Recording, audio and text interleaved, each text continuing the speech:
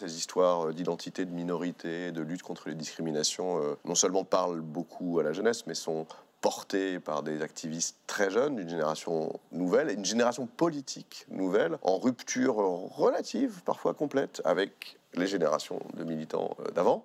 Mmh. Moi, le bouquin, je, pars de, de, ce langage woke et de ce terme woke, et je dis en fait, oublions-le. Il est mal foutu, il est bancal, c'est un mot de ses ennemis en fait.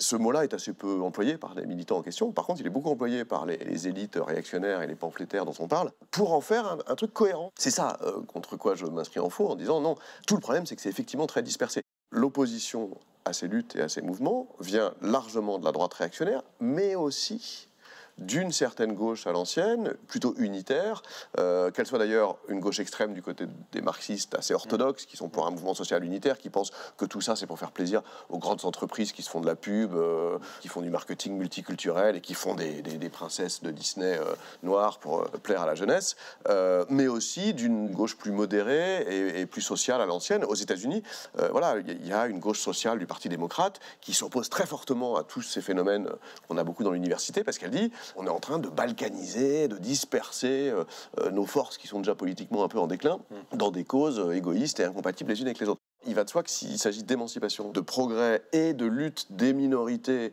qui sont a priori opprimées depuis longtemps contre une majorité, qu'elle soit financière, capitaliste ou qu'elle soit politique au pouvoir, oui, oui, on va pas se cacher derrière son petit doigt, c'est un combat de gauche, mais de gauche très problématique au sein de la gauche.